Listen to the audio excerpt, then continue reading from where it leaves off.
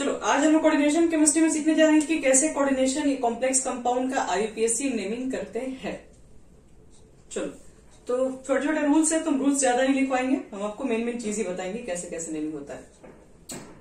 सबसे पहला काम करना है कि कोई भी अगर आपके पास कॉम्प्लेक्स कंपाउंड है तो सबसे पहले नेमिंग किया जाता है कटायंस का। यानी कि नेमिंग ऑफ़ कटायन फ़र्स्ट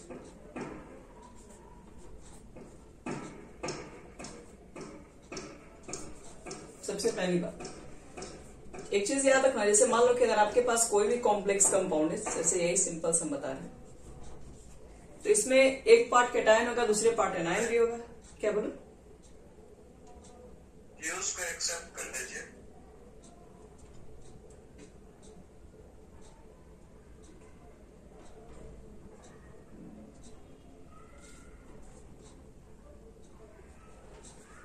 यहाँ देखो। नेमिंग ऑफ़ कॉम्प्लेक्स कंपाउंड में क्या करेंगे हम लोग? कैटायंस होता है और एक पार्ट में एनायंस होता है। तो कौन पार्ट में कैटायन है, कौन पार्ट में एनायन है? तो सबसे जो फ़र्स्ट होता है वो तो कैटायन से सबको मालूम है पोटेशियम ये कैटायन है जिसकी वजह से ये एनायंस होगा पॉजिटिव निगेटिव तो जब भी एक आईपीएससी नेमिंग करोगे तो सबसे पहले तो कैटायन को नेमिंग करना है। ये तो रूल है। रूल नंबर पहला आपको यही कहा जाएगा।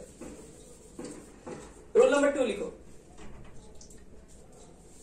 आपके पास कैटायंस है नेमिंग पहले कर दो। उसके बाद नेमिंग ऑफ़ लिगेंड्स अब उसके बाद आपको लिगेंड्स का नेमिंग करना है। अब लिगेंड्स के नेमिंग के बारे में हम पीछे भी बात कर चुके हैं। सीएल अगर रहेगा क्लोरीन तो क्लोरिडो बोल देंगे इसको। क्लोरो भी बोल सकते हैं। ब्रोमीडो आयोडिडो सल्फिडो ये सब चीज़ें हम बता चुके हैं। तो नेमिंग ऑफ़ लिगेंड इसके बाद कीजिएगा। थर्ड अब लिगेंड में भी आपके पास क्या निगेटिव लिगेंड है तो बताए थे नेगेटिव लिगेंड्स के अगर लास्ट में आईडीई आता है, जैसे क्लोराइड ब्रोमाइड तो लास्ट में इसको नेमिंग करते वक्त ईडो कर देंगे। अगर आईटीई आता है तो आईटीओ कर देंगे। तो एट भी आता है एट आएगा तो एटो कर देंगे। तो ये चीज़ें हम लोग सीख चुके हैं। तो यहाँ पर कोई बहुत ज़्यादा डिस्कस करने की ज़रूरत नहीं इसके ऊपर। न्यूट्रल लिगेंड्स में क्या करते हैं? न्यूट्रल लिगेंड में कोई चेंजिंग नहीं करते जैसे ईएन है इसको एथेन वन टू डाइएमिन से बोलते हैं और एथिलीन डाइएमिन तो खैर कॉमन नेम हो जाता है। Ethane one comma two diamine तो ये जैसा रहता है, वैसा लिख देते हैं। इसके नेमिंग न्यूट्रल लिगेंड की नेमिंग में कोई छेड़छाड़ नहीं। जैसा वैसा लिख दो। एनएस थ्री है इसको एमिन आप लिख दीजिए। एमिन के स्पेलिंग में ध्यान रखना ए डबल एम आई ए नहीं होता है। एच टू को बोलते हैं, एक को। तो लिगेंड्स के ऊपर ज़्यादा फोकस करने की ज़रूरत नहीं है। ये आप लिगेंड्स के बारे में पहले से भी डिस्कस कर चुके हैं। यानी कि पहले हम लोग क्या लिखते हैं? कैटायन का नेमिंग फ़र्स्ट करते हैं, फिर लिगेंड्स का नेमिंग करते हैं। थर्ड देखो हमारे पास क्या है। और लिगेंड्स निगेटिव भी होता है न्यूट्रल भी होता है और पॉजिटिव भी होता है। पॉजिटिव के लास्ट में क्या जोड़ते हैं? आई यूएम जोड़ देते हैं। थर्ड हमारे पास क्या होगा? जैसे लिगेंड्स का नेमिंग होगा तो name naming of central metal atom central metal atom ध्यान रखना। जब भी आप लिगेंड्स का नेमिंग कर लीजिएगा तो उसके बाद जस्ट सेंट्रल मेटल एटम का नेमिंग करना होता है। और सेंट्रल मेटल एटम का जब भी आप नेमिंग करेंगे तो वहाँ पे दो तरीके से देखा जाता है। क्या? तो if the metal present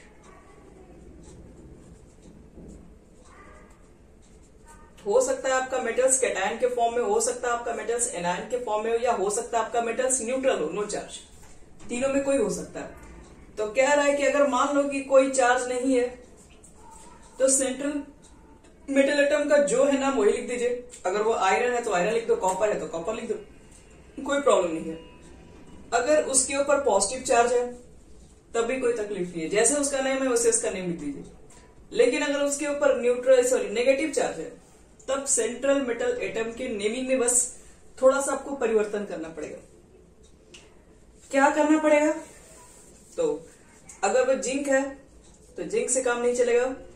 zincate बोलना पड़ेगा। अगर वो कॉपर है तो कॉपर नहीं बोलेंगे क्यूपरेट बोलेंगे। अगर वो मान लो कि आयरन है तो उसको आयरन नहीं बोलेंगे, उसको फेरेट बोलेंगे। अगर वो पीवी है उसको प्लम्बेट बोलेंगे। अगर वो गोल्ड है तो उसको बोलेंगे ऑरेट तो औरतें लिखा हुआ है। ऑरेट अगर वो मान लो कि टीन है तो उसको स्टेनेट बोलेंगे। एच जी है तो मर्क्यूरेट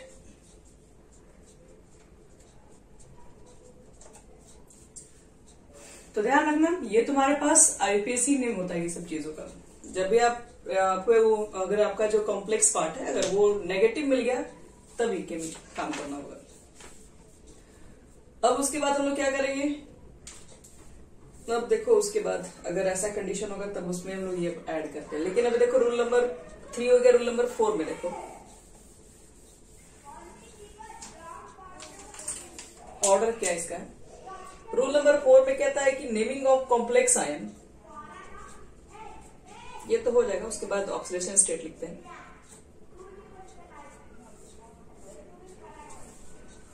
तो जब भी हम लोग एक बात करते हैं कि जब लिगेंड्स का नेमिंग करते हैं तो लिगेंड्स का, देखो नेमिंग में क्या है। पहले तो बता दिए कैटाइन पार्ट का नेमिंग करते हैं, फिर लिगेंड्स का नेमिंग करते हैं। फिर फिर सेंट्रल एटम का नेमिंग करते हैं, और फिर सबसे लास्ट में इसका जैसे ब्रेकेट क्लोज होता है ऑक्सीजन स्टेट लिख देते हैं। लेकिन अगर मान लो कि अगर हम लोग को लिगेंड्स का अगर नेमिंग करना है तो उस पर भी थोड़ा फोकस करना है कि लिगेंड्स का मान लो कभी कोऑर्डिनेशन कंपाउंड के अंदर एक से ज़्यादा लिगेंड भी प्रेजेंट हो जाते हैं। तो कह रहा है कि जो नेम ऑफ़ लिगेंड है, आपको हमेशा क्या करना है, हमेशा एक अल्फ़ा बिट ऑर्डर में फॉलो करना है। Name of ligand are written written first before the name of metal in alphabet order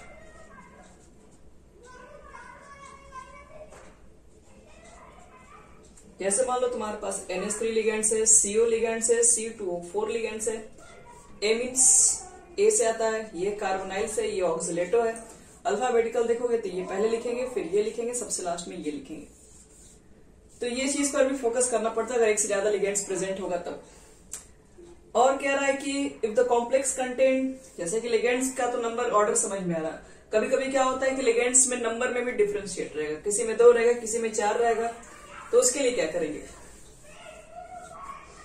तो पांचवा रूल देखो। If the complex contain if the complex contain two or more same of ligand then pre prefix use करेंगे। Pre prefix pre prefix का मतलब होता है di tri tetra ये सब यूज़ करते हैं। Are use to represent the ligand to represent the ligands अगर एक कॉम्प्लेक्स आयन अगर आपके पास है आप उसका नेमिंग करने जा रहे हैं तो पहले लिगेंड्स का नेमिंग करोगे फ़र्स्ट और उसमें भी लिगेंड्स में भी कर लेना है कि इसमें कितना लिगेंड्स है। अगर वो, जैसे सपोज़ करो सी यू है एनएस थ्री का होल फोर है तो हम क्या करेंगे फोर के लिए लिगेंड्स तो लिखेंगे, लेकिन यहाँ पर फोर जो है इसका प्री प्रिफिक्स होता है, इसको पहले लिखना पड़ता है। फोर है तो फोर के लिखेंगे पहले टेट्रा ये रूल है। फाइव होगा तो पेंटा छह रहेगा तो हेक्सा ये सब चीज़ें लिखेंगे सेवन रहेगा तो भाई। सेप्टा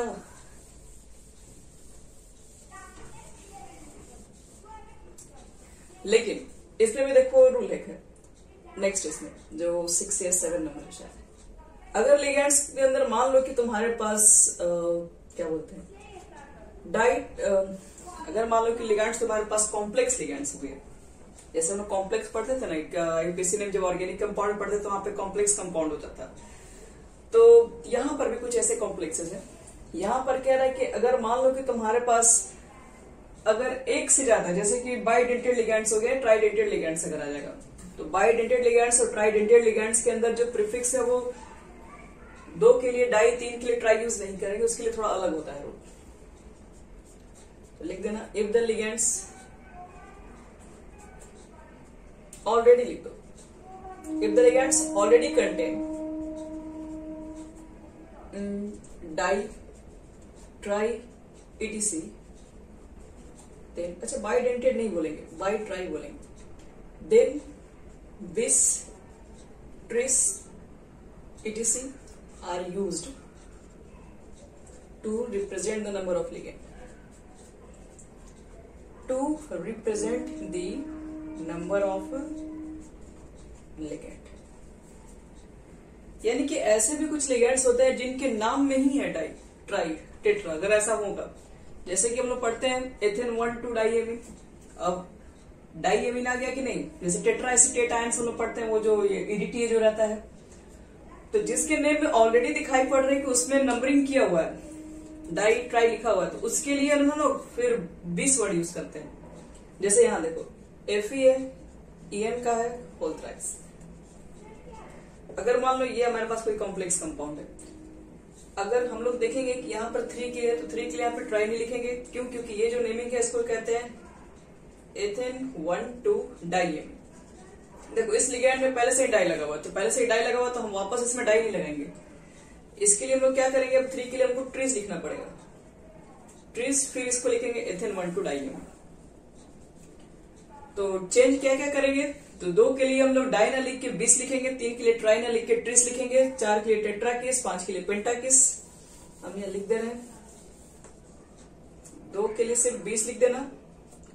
थ्री के लिए ट्रिस फोर के लिए टेट्राकिस पाँच के लिए पेंटाकिस अब बिल्कुल सेम ही चलता है तो कुछ नया बताने लायक इसमें नहीं है। चलो, इतना आपको करने के बाद क्या लिखना पड़ेगा? After naming the central metal atom. After naming the central metal atom, हमें क्या करना पड़ेगा? जैसे सेंट्रल मेटल एटम का नेमिंग कर लेंगे, उसके बाद हमको यूज़ करना पड़ेगा। Its oxidation state is written in bracket in bracket in Roman order याद रखना।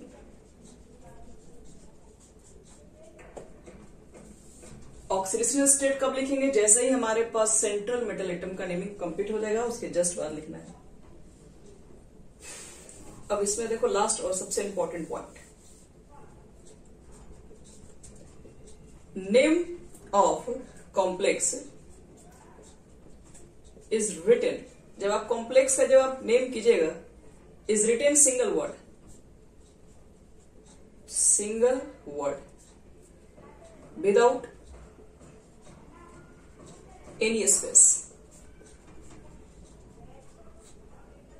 And no capital letter is used. And no capital letter is used while starting by the naming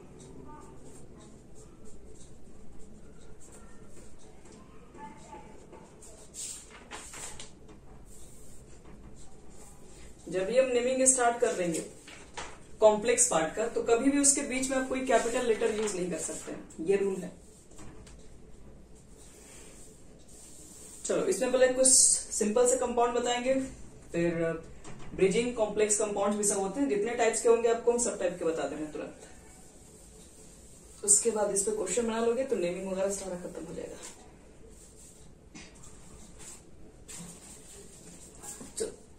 पहला क्वेश्चन ये। सबसे पहला question यही लगता है बार बार question हमारे पास घूम फिर के आते रहता है। तो ये कॉम्प्लेक्स कंपाउंड है, बहुत बार एग्ज़ाम में पूछा ही जाता है यही क्वेश्चन इसका अगर मुझे नेमिंग करना है तो सबसे पहले हम कैटानिक पार्ट नेमिंग करेंगे। याद रखना, इधर को कैटानिक पार्ट कहते हैं। ये कॉम्प्लेक्स पार्ट है और ये आपका एनानिक पार्ट होता है। कैटानिक का नेमिंग सबसे फ़र्स्ट होता है। तो ये आपके पास पोटेशियम है, लिख दीजिए पोटेशियम पहला लेटर कैपिटल पहला लेटर कैपिटल होता है, लेकिन हमेशा मत करना। मान लो इधर नहीं होगा तो कैपिटल जब भी कॉम्प्लेक्स का नेमिंग होगा, इसके अंदर कैपिटल कोई लेटर यूज़ नहीं होगा स्टार्टिंग का। तो बाहर वाले के नेमिंग के लिए लिखोगे तो वो तो हमेशा आपको कैपिटल ही देना पड़ेगा। अगर वो बाहर होगा, तब। अब कॉम्प्लेक्स पार्ट स्टार्ट होगा तो अंदर का नेमिंग करेंगे हम लोग। और इसके अंदर नेमिंग में कॉम्प्लेक्स में सबसे पहला नेमिंग होता है लिगेंड्स का। तो चलो, लिगेंड्स का नेमिंग करते लोग। लिगेंड से पहले सिक्स लिखना पड़ेगा। सिक्स के लिए क्या लिखते हैं? तो ये जो लिगेंड्स है, इसका नाम है साइनो और साइनो के अंदर हम लोग नहीं देख रहे हैं कि क्या बोलते हैं वन टू पहले से कोई है। या डाई और ट्राई कहीं से पहले कुछ लिखा हुआ। तो इसलिए इसके लिए हम लोग सिंपल सिक्स के लिए हेक्सा ही यूज़ करेंगे। तो पोटेशियम थोड़ा सा डिस्टेंस पे आपको होना चाहिए थोड़ा सा गैपिंग देना बस पोटेशियम हेक्सा उसके बाद जब भी लिखेंगे आप एक सिंगल वर्ड में लिखेंगे, इसके बीच में कोई गैपिंग नहीं आएगा। हेक्सा साइनो फिर इसका नाम हो गया हेक्सा साइनो फिर इसका नाम लिखना है। तो ये है आपका आयरन तो ये आयरन लिखा जाए कुछ चेंज किया जाए? तो देखो तो ये जो कॉम्प्लेक्स पार्ट है, वो क्या है? ये कैटायन कॉम्प्लेक्स है कि एनायन कॉम्प्लेक्स है कि न्यूट्रल है? कैसे पता करते हैं? पोटेशियम को घटाओ। पोटेशियम के ऊपर चार प्लस है। याद रखना तो चार प्लस है तो यहाँ पर क्योंकि चार पोटेशियम है। अगर यहाँ पे चार प्लस है तो बच्चे लोग यहाँ पे चार माइनस भी होगा। तभी कंपाउंड होल न्यूट्रल है। तो इसका मतलब ये प्लस है तो यहाँ माइनस होगा तो माइनस वाला लिगेंड है और जब भी एक माइनस वाला कॉम्प्लेक्स पार्ट है, जब भी निगेटिव वाला कॉम्प्लेक्स पार्ट होता है तो आयरन को आयरन ही लिखते हैं उसको फेरेट लिखते हैं। और लास्ट में ऑक्सीजन स्टेट पोटेशियम का वन इंटू फोर कर देंगे। एफी का एक्स होता है सीएन का होता है माइनस वन चार्ज होगा इसका सब मिला के चार्ज कुल ज़ीरो है। तो टू आ जाएगा टू को लिखेंगे रोमन में। तो आपका ये नहीं होगा पूरा। चलो एक और क्वेश्चन देखो इसमें। के थ्री है, सीओ है सीएन का होल फाइव एनो चलो, इसका हमको करना है, इसका नेमिंग क्या होगा? पहले बार कैटायन पार्ट इसके अंदर है कैटायनिक पार्ट पहले करते हैं तो पोटेशियम। अब देखो, पोटेशियम के बाद आपके पास दो दो लिगेंड्स आ गए। तो जब भी दो लिगेंड्स आएँगे तो आपको चेक करना है कि अल्फाबेटिकल पहले कौन आएगा? साइनो है या नाइट्रोसिल है? तो साइनो पहले आ जाएगा। तो साइनो से भी पहले आपको इसके लिए देखना पड़ेगा प्री प्रीफिक्स क्या है। तो फाइव के लिखोगे पेंटा, साइनो कुछ नहीं है तो डायरेक्ट आप नाइट्रोसिल लिख सकते हैं। मोनो भी लिखने की ज़रूरत नहीं है, मोनो भी लिखा जाता है। नाइट्रोसिल अब कोबाल्ट कोबाल्ट नहीं रह जाएगा क्योंकि ये पार्ट पॉजिटिव है, इसके ऊपर नेगेटिव चार्ज होगा कोबाल्टेट कहेंगे इसको। और ऑक्सीडेशन नंबर निकाल लो। One into three plus X minus one into five nitrosyl का आपका आएगा ज़ीरो तो कुल मिला के यहाँ पर ऑक्सीजन स्टेट जो आएगा वो प्लस टू आएगा।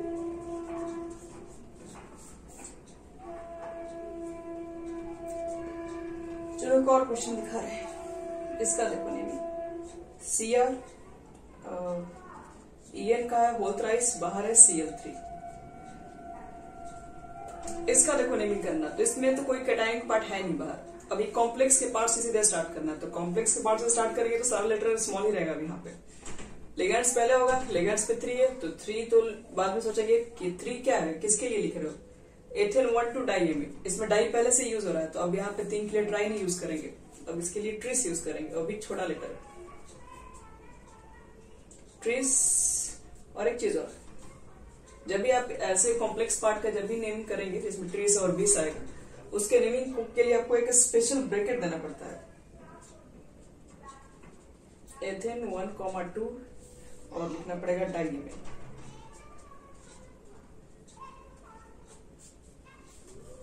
ट्रीस हो गया। Ethane one comma two diamine CR देखो, अब ये निगेटिव पार्ट है तो ये पॉजिटिव पार्ट है। बताया तो पॉजिटिव और न्यूट्रल पार्ट के लिए इसके नेमिंग में कुछ चेंजिंग नहीं हुआ। जो होगा उसका नेमिंग लिखना पड़ेगा। तो क्रोमियम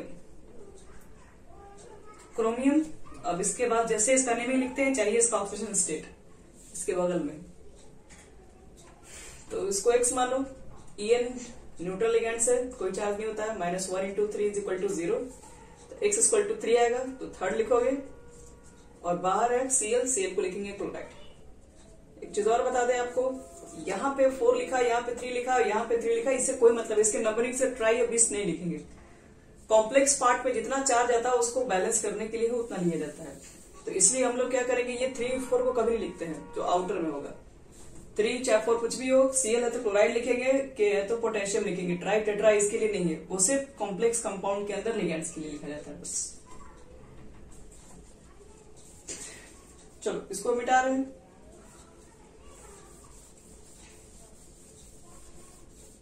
कुछ क्वेश्चन एक दो और पहले बता रहे हैं, उसके बाद तुम लोग को मिलेंगे बनाने के लिए। जैसे मान लो क्वेश्चन में इस तरह से मिल जाए। एम एन एच टू का होल सिक्स ऊपर में है टू प्लस और इसका करना है निमिंग तो सबसे पहले क्या करेंगे हम लोग बाहर कुछ है ही नहीं।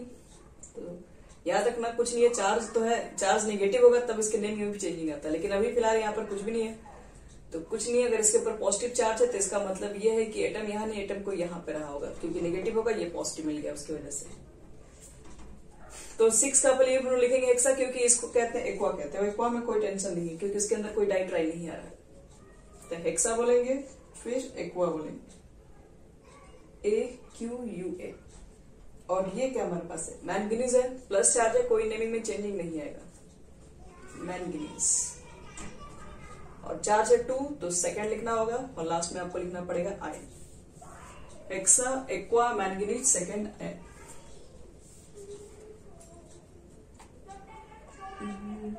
और देख लीजिए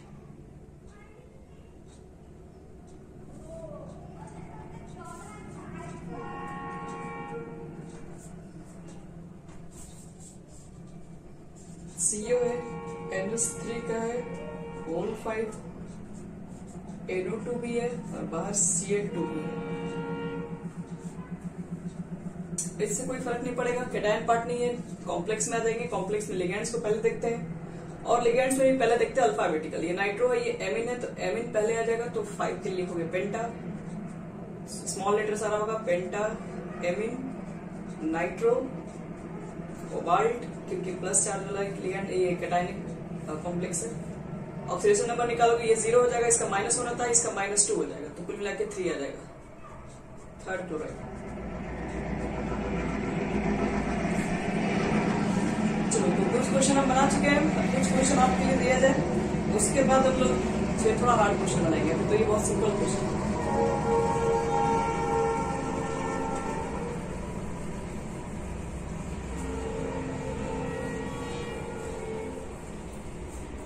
पाँच क्वेश्चन तुम लोग के लिए व्यवस्था कर दी जाए। पहला एनआईसीओ का whole four second CO N S three का whole four H two C third C R N S three का whole twice C L two E N बाहर है C L four number four number हैं N I C M का whole four ऊपर में है two minus के two C U C N का है होल फोर बस चलो, इसको पे ज़्यादा टाइम नहीं, दो से तीन मिनट के इसको अंदर फटाफट बना दो सब लोग।